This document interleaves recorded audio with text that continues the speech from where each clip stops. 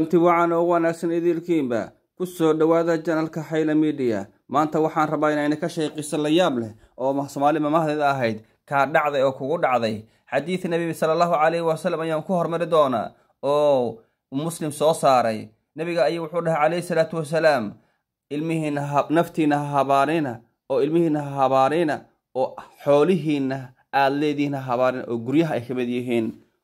Sidaa darteed habaarkuna oo markaa saacad saacadahi ilaahay wax markii la weydiisto aysan dhaafaynin oo ninka aqbalayo ay waafaqaan.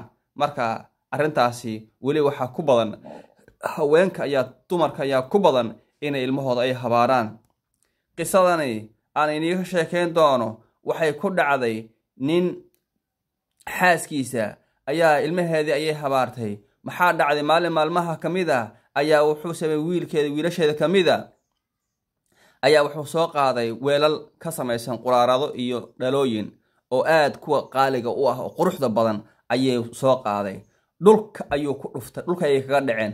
Maamadii oo guriga xaqxaaqaysa ayaa aad iyo aad u xanaaqday.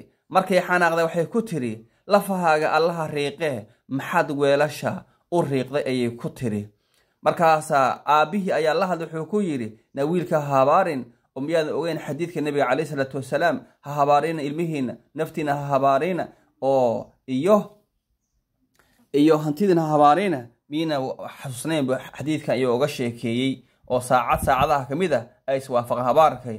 Maxaa dhici doona markaasi qisadii oo bilaabatay? Waxay ku dhacday markaa wiilkii ayaa sidan soo socota ku dhacday. Maxaa yeelay nebiga calayhi salaatu wasalaam hadalkiisa waa xaqiiqo waa xaqiiqo maxaa la yidhi ilahay qur'aan ku leeyahay? Laa yandiqu can hawaa hadal iska maarta hadal ah kuma hadlo nebi maxamed sala allahu calayhi wasalam hadalkiisa waa sax waa waxyi saa darteed maxaa dhici doona markaasi? Wiilkii ayaa waxaa ku dhacday wuxuu sameeyey maalin maalmaha ka mid a ayaa horta qur'aankii iyo diintii ayuu bartay jaamacad buu soo dhameeyey. Habartiina aad iyo aad ayay wiilkii u sii jeclaatay. Maxaa dhici doona markaasi? Waxaa dhacday. Wiilkii waxay u guurisay gabar ayay u guurisay. Ehlu diin ah oo ehlu sharaf ah oo ehlu cizo ah ehlu karaamo ah ayay u guurisay. Maxaa dhici doona markaasi? Wiilkii maalinkii xafladdiisa daqiiqada ka hor maamadii markaa wiilkii xafladdii bay la diyaarisay asoo marka intuusan guri gelin ka hor. Maxaa dhici doona markaasi?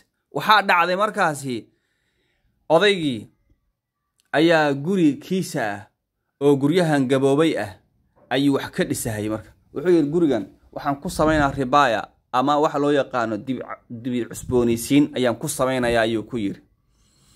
Wiilkii oo nin weyn noqday ayaa gurigii shaqaalaha ayuu kala shaqaynhayay marka dhibka dhici doona. Waatana wiilkii oo guriga dhisahaya duqii dhalay ayaa shaqaalihii asaga ayuu guriga kaga tegey. Wiilkii markaa dhagax ayaa ku dhacay. Halkaa dhalada ah maskaxda ayuu dhagaxii kaga dhacay. Ha kaga dhaca maxaa dhici doona? Wiilkii waa la soo sheegay islaantii baa loo sheeg dhashay. Waxaa lagu yii wiilkaagii arooska aad u diyaarinaysay dhagax ayaa halkaa dhalada kaga dhacay. Wiilkiina laf laf ayuu u burburay. Odaygii ayaa soo rooray oo u yimid. Wuxuu ku yidhi arrintii wuxuu yidhi wiilka isbitaal baa la dhigay. Markii isbitaalka la dhigay ayaa wuxuu ku yidhi odaygii baa wuxuu ku yidhi ma xasuusataa habaarkii waagii waaga ahaa eed wiilka aada habaartay ma xasuusataa markuu yaraa. Markaasi madaxa oohin ayay qabsatay. Wabaa allaanaa habaare wiilkayg alla ilmahaygaanaa habaare. Marka qisadan waxay la dhahaa kaa dhacday oo kugu dhacday. Maxaa dhici doona markaasi?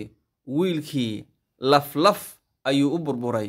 Asagana waxaa lala sugahayey in asbuucan gudihiisa uu dhaco arooskiisa. Waba wiilkii oo intuu guriga ka soo dhacay halka dhakada dhagax intuu kaga dhacay laflaf u riiqmay ayaa haddanana isbitaalkii la dhigay. Wakaa wiilkii oo dhalada dhagax uu kaga yaallo oo guriga dushiisa ka soo hoobanaya oo ku dhacahaya dhulka. Marka isbitaalka ayaa wiilkii la geeyey wiilkii isbitaalka markii la geeyena wuu dhiman doonaa markaas wiil markaa halkaas qisada waxaan u soo qaatay in waalidku aysan ilmahooda aysan habaarin oysan maxaa yeelay habaarku ma wanaagsano waa loo duceeyaa. Maxaa yeelay nabiga calayhi salaatu wasalaam ayaa niman yuhuuda maalin maalmaha ka mid asagoo caaisho la jooga umulmu'miniina ayaa waxay ku yidhaahdeen saam calayka. Waxay ku yidhahdeen cudur iyo balaayo korkaaga ha ku dhacdo marka nebiga waa gartaye markaas wuxuu dhihi doonaa waa calayka ayuu dhahay. Caaisho ayaa cayda waxay ku tiri balaayo iyo baas aan la ogeyn ha kugu dhacdo ayay ku tiri. Markaas wuxuu ku yidhi caaishooy maxaa sidaa u tiri? Oo miyaadan maqlay nebi maxamed miyaadan maqlayni? bay ku tiri. Nebi maxamed oo miyaadan maqlayni? Wuxuu ku dhahay anaa waxaan dhahay ka daran buu yidhi. Marka muslimiintu maaha kuwa habaartama oo caytama oo aflagaadooda hadalka xun ma wanaagsano sidaa darteed ilmihiinna ha habaariina oo ducada ay iswaafaqaan habaarkaa iyo ducadii saacad saacadaha ka mid a ay iswaafaqaan.